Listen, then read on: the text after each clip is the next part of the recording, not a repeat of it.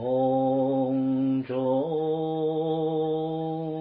出口，宝鸡。所以不是说只是在在家生熟之中再立一个在家人，其他的菩萨都叫在家人，不是这个意思啊。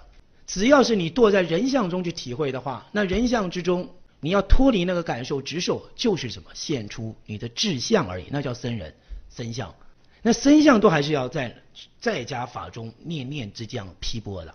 所以既然如此，所以大事什么？大事，他你在出家都还生完还在在家法中批驳，大事就当下就是担当了，全然是担当嘛，那就是一切世间的最光明处嘛，就不再跟你分什么僧俗啊。所以维摩诘也不是跟你分生俗的，所以人家误会维摩诘实际上是在家人，他已经告诉你他不受家法，所以有的人说那维摩诘在家人他不是跟出家人讲法吗？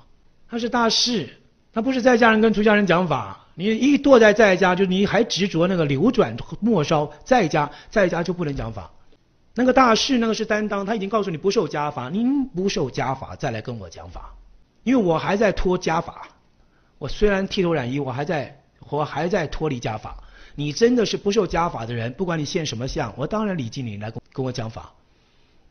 但先问你是不是脱离家法？不可能嘛！跟我讲完，你就说我说，抱歉，我先回家。你不可能不回家，然后你不回家，你跟我讲说你可能你太太会骂你，不可能的，对吧？所以那都不是现代人的知见，老是抓着感受的最末梢的那个在家相、那个流转相、执着相，以为是大事。根本就在世间法中的那种庄严的担当，那种一切法中的根本入俗的担当，因为他能入俗时就是什么？就刚刚不讲中观了吗？不讲如为师了吗？是名字上讲了，你能够入俗就是什么？真花，就是大觉真花，不然那个怎么敢担当入俗？所以他是大事相，那就是根本大事相。所以那个相中也是什么？方便为众生建立的，能够方便为末法众生，因为在修行上有一个什么？有一个依处啊。有个所依处啊，有个在念头上念念还回观时的所依处啊，那种庄严，那种礼敬处啊。但事实上你要明白，那个文殊势力大智，你是不能用任何形量来现来向他的，来去向他，来去思量他的。所以，但是这种性德在你心中即从做起，也就是他在当下随机复感，他应种种激发，然后约起。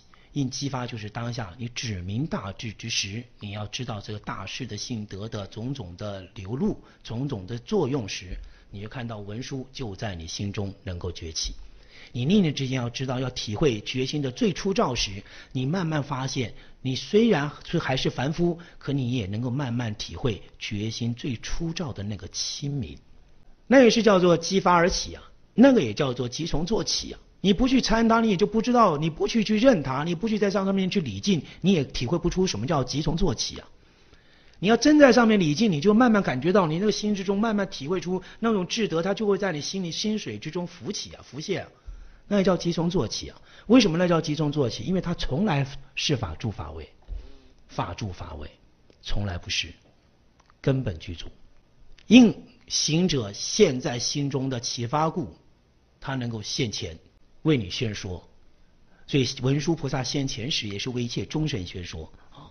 所以顶礼佛祖，这里面叫做求法的仪式，顶礼佛祖，也表示你所有的虽然参你所有的性德，因为你在大觉体上，大觉无形无相，你怎么参？性德上参嘛。这个就是佛门中要讲的最维系的地方。觉，你不是说我一天到晚要参这个佛，我这天天在觉上，觉在哪里？我跟你讲，这一法都不能立嘛。你只到见就是色。你只到觉的时候，就要看到现前的所有一切作用性德。但现前不是现在众生流转的现前，是你真正在觉体之中能够现前的性德，它能够随缘应机现前的那个性德，就好像参圣人一样，圣贤的关系。圣人，你是以什么法为圣？他遍通一切贤能，就叫圣呢。所以圣人本身无相，你会举一切法时，那些法都不能够立相，法法都是如此啊。你举在圣时，你只在圣时，圣不能立相。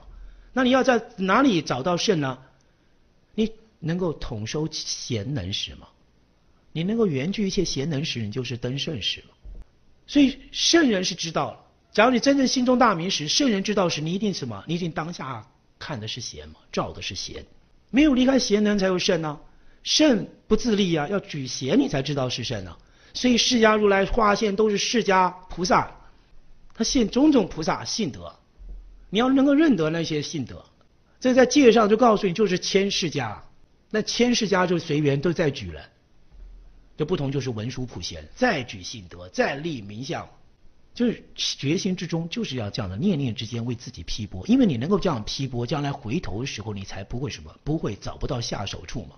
你要是学佛，念念之间在佛上看，你要在哪里看？当然在这个现前的作用的一切能现前的本来大觉心体的性德上面参，在大觉性德上面参，你当然会先礼敬文殊普贤一切菩萨。所以礼敬菩萨时，你不是只是礼敬菩萨，你是为了要全如是大觉，为了要正如是大觉。